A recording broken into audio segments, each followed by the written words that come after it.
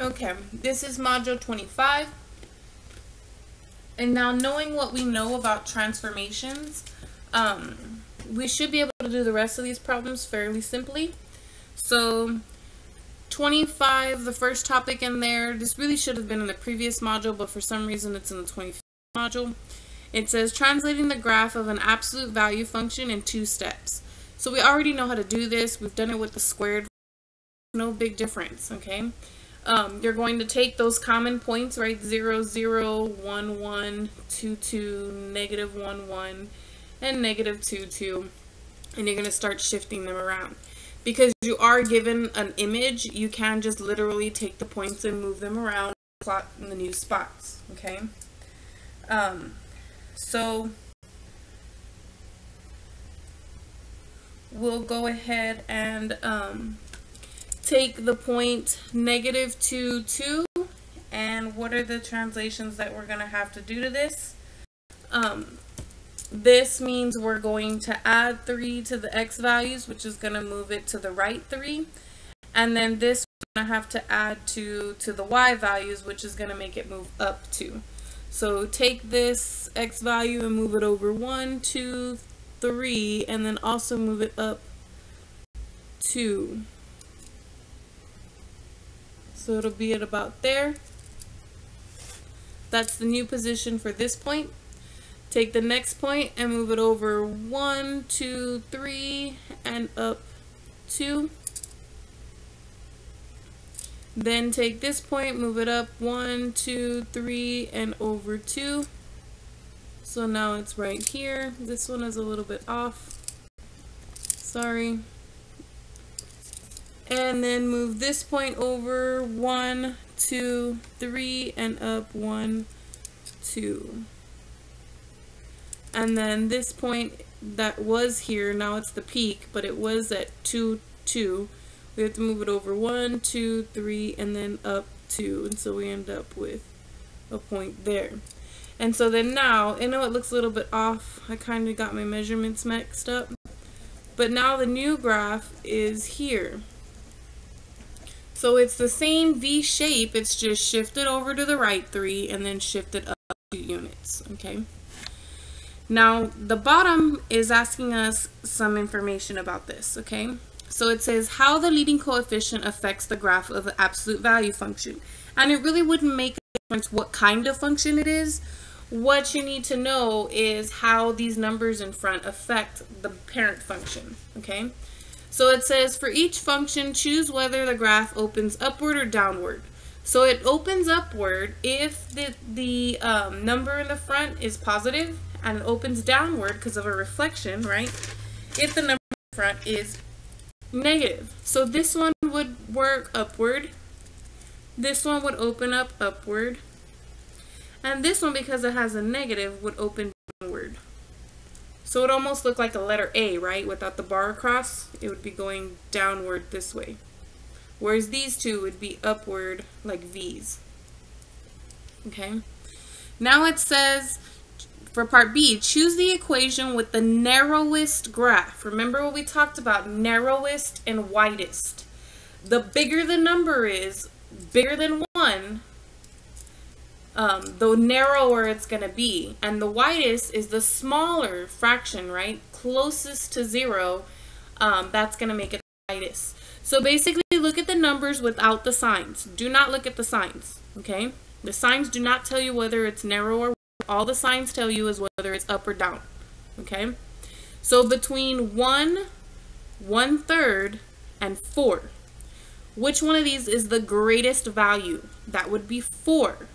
So this graph is going to be the one with the narrowest graph. It's just going to be narrow and opening downward because of the negative.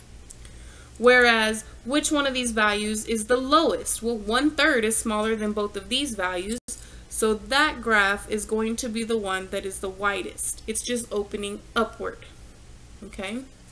Now, there are some different kinds of questions we can get with this topic, so I wanted to do another example. So, they may not give me the equations, they may give me the graphs, and then I've got to give them this information, okay? So it says, for each coefficient, choose whether it is a positive or a negative. So for A, because it's opening upward, would be a positive. For B, because it's opening upward, should be a positive. For C, it's going downward, and for D is going downward. So these two would have a negative coefficient, okay? Then it says choose the coefficient that is closest to zero. Closest to zero is the same thing as saying the lowest value without the sign, okay? And that's how you know which one's going to give you the widest graph, okay? So this one is the one that looks like the widest, right? Um, if you look at it like if there are two doors, this one looks like the doors are open more than all these other images, okay? So the answer for part B would be A. A looks like it's open the widest. Now C says choose a coefficient with the least value. And when it's saying the least value, that does include sign, okay? So now they want me to look at the number and its sign. Well, I promise you that negative numbers are lower than positive numbers, right? So immediately, these two should not be an option when you're looking for the lowest value, okay? It should be these two. Now remember, if the graph is narrower, it means that that number by itself is bigger. Wide graphs mean that number is closer to zero, which means it's a smaller value. So essentially what we're looking for here is the narrowest downward graph. And that happens to be D in this particular scenario. Now for part D, it says choose the coefficient furthest from zero. So this is the one that looks the narrowest. We don't care whether it opens upward or downward. It doesn't ask me about that. It just wants to know which coefficient is furthest from zero. It doesn't matter whether it's further away to the left and as a negative or further away to the right as a positive. All it matters is that it's further away from zero. Which of the four graphs looks like it's the narrowest? It has the doors closed the most, right? That would still be graph D. Okay. Now, part E says choose the coefficient with the greatest value. Now, this is asking me to consider the signs. So when you're talking about whether a number is bigger or lower, the negatives are instantly going to be smaller than the positives, right? So you're only supposed to be looking at A and B. And again, remember, if the graph is wide, that value is small. If the graph is narrow, that value is big. So we're essentially looking for, um, with the greatest value, it should be the narrowest upward graph. I don't know why I had widest. That's incorrect. Okay. So, narrowest ET. There we go. Something like that. Okay. Um, so between these two that are positive, this one looks like it's more narrow, so this option should be B. Choose the coefficient with the greatest value. It's the narrowest upward graph. So keep that in mind. What I have in parentheses is not given to you in ALEKS. This is information that I'm giving to you to make sense of what they're asking for. So when you see the phrase, choose a coefficient close to zero, what they're looking at is for the widest graph. Nothing about whether it's open upward or downward. When they ask you to choose the coefficient with the least value, they're asking you for the narrowest downward graph. So here they do care about the sign. When they're saying choose a coefficient furthest from zero, they don't care whether it's negative or positive. All they care is which one is narrowest completely. Which one has the doors that look like closed. I don't care if they look like they're closed up top or closed at the bottom. Doesn't matter. And then E, choose the coefficient with the greatest value. That means the narrowest upward graph. Okay. So now we have um, this topic here. So it says writing an equation for a function after a vertical translation. So if the graph of the function g is defined by 4x squared plus 5 is translated vertically by 3 units, it becomes the graph of a function h. Find the expression for h. So they want h of x equals, and they want you to tell them what it is. Well, remember what a vertical translation does. If I go back to my notes over here, A vertical translation is the same as like step four here. And what do you do? You add or subtract that number outside the parent function using the same sign. Okay?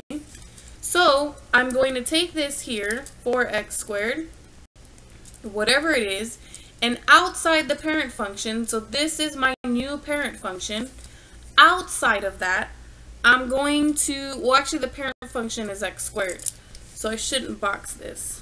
But outside of x squared, um, I should be, it's upward by 3, so I should be adding 3. Now whether you do that or you do 4x squared and add the 3 here and then push the 5 over to the side, it doesn't matter because in the end, you ultimately end up with 4x squared plus 8. And this is the expression that they want for h of x. Okay. So now here we have this graph and it says translate vertically um, downward by 6 units. Find the new expression f of x. So here they want me to call it f of x. ALEKS will already have this. They'll just have a big box here for you to type in your answer. So I'm going to take the original function I was given, g, and I'm going to vertically translate it downward 6, which means I have to minus 6 outside the basic function. So I'm going to have the minus 6 out here. When I simplify this, I end up with negative x squared minus 3 because positive 3 minus 6 is a negative 3. Let me see if I have one more example of this. No, we go into a different topic. So I'm going to stop this video here and continue with the